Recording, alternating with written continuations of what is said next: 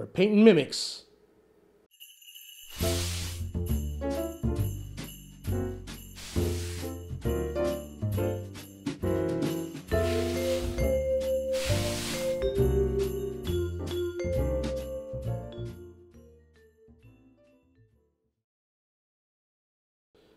I'm Mike with the Grizzled Warmaster, and we're back with another episode of my painting vlog.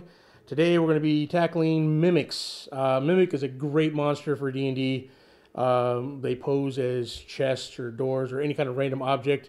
Uh, and then when they get up there, try to open the chest or open the door, they spring to life and gnashing teeth, and it brings to mind images from John Carpenter's The Thing. Uh, these shapeshifters, they're otherworldly, they're creepy. Uh, but a lot of people are pretty boring with them. They just use them as chests because that's what they're depicted as mostly. But you know, they could be anything. They could be a wall, a door. Uh, they can be the timbers in their ceiling. You know, get creative with it if you're using it with your characters. Um, and these are again are from the Nolzur's uh, WizKids miniature line. They are the pre-prime miniatures, and they are a lot of fun to paint. So I used uh, the same technique I use on my aged wood for pretty much all my aged wood models. Uh, so you take a look at that, just basically um, different striations with all the different browns and everything. So we'll get into that. So let's hit the table and check out how I painted these. Okay, here we got them all set. We've got them all cleaned off and ready to paint. Um, we're going to do. I'm going to paint the wood first. I'm going to use my, my, my old wood technique. I'm going to start with a dark brown, Dryad brown for Citadel. That's what I'm going to use and I'm just going to go over all the wood area, the wood texture. Now, there's a spot you can kind of choose where the it starts to morph into the mimic skin. I'm going to paint that a little bit different, but um, let's go ahead and paint up all the wood now. Okay, now we've got all dark. We're going to uh, do a couple uh, lighter tones on here. The first one we're going to do, uh, basically these tones we're just going to use like a striping motion across the wood grain. And I'm going to use uh, Steel Legion Drab for Citadel. Um, and then basically, it doesn't matter if you hit all the planks. I mean, ideally you do like two strokes on each plank, but uh, even if you miss the plank, as long as you have like a stripy motion, it'll look well, look good. There you go. See, you got the. Uh, it doesn't even have to go all the way across the plank. You can break it up a little bit because of that natural wood look. Um, you know, as long as you're doing it along the planks, uh, it doesn't have to paint the whole plank or whatever. You can just do like a couple stripes on the plank, or if even if you miss a plank, as long as you're doing it across that. And then Alexandria dust for the lighter tone across that. So we're just going to go over the areas, the stripes we've already put on there, and leaving a little bit of that uh, dust or the uh, uh, Steel Legion Drab showing underneath. And there we go. Um, we got a good, nice contrast there. We're going to darken that up with a wash, obviously. Um, but yeah, that's kind of the aged wood look. And you can even go further. You can do like gray if you want, depending on how old you want the wood to look. And then we use Agrax Earthshade, a little brown wash over it. All right, there we go. So you get darkened it all up there. It's got a nice wood grain look to it, and it's going to really pop with that. Make the uh, this the metal bands pop when we get those painted. Uh, which we're going to do right now. Let's get the bands done and all around the edges there, all the metal stripes. And I'm going to use a dark, it's gunmetal gray. I think it's like, uh, used to be Boltgun Metal for, uh, yeah, I think it's uh, Leadbelcher now. There we go. Got it all done. And we're going to shade that with Nuln Oil, so like a black wash. All the metal parts. That's going to age them. All right, nice aged metal with the aged wood. Looks like a chest or keg you'll find in any dungeon. Only with a little surprise.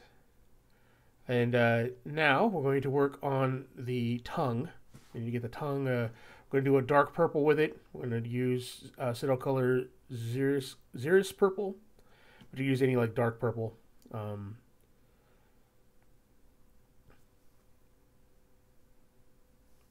All right. Tongue is done. Now we need to work on the fleshy parts.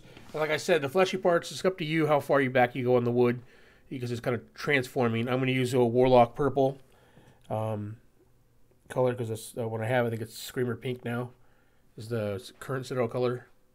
And just do the gums inside the mouth and the little fleshy parts. There we go.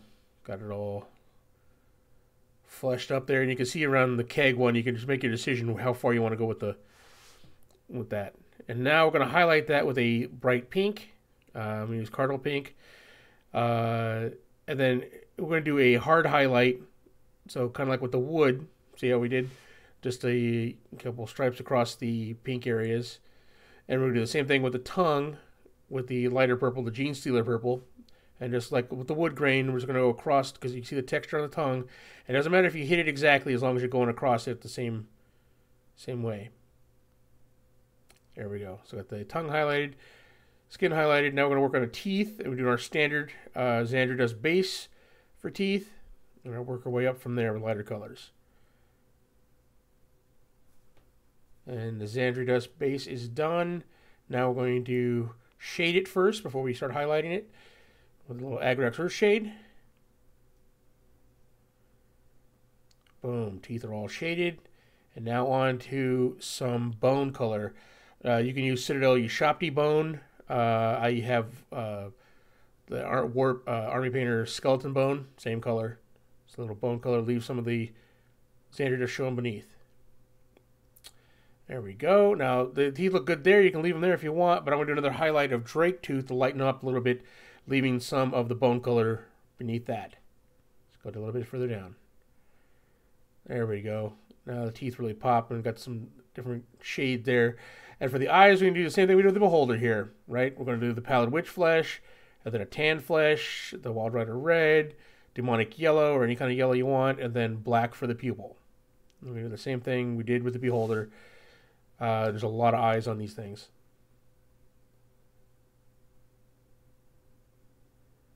Boom. Got the eyes all done. And yeah, started to color the base. You can texture it if you want, but it's pretty. These are pretty textured. And there you have it, guys. Mimics. Yeah, these things are awesome.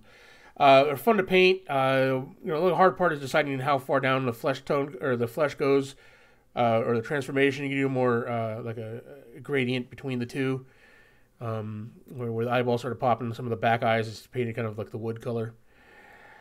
All right, guys. Uh, thanks for joining me once again on my paint vlog. Please uh, like and subscribe. Share with your friends if you want. If you want to check out our other channel, it's the Grizzled Geek. There's a link on the main page for that. Uh, we're back again with painting some more D&D miniatures.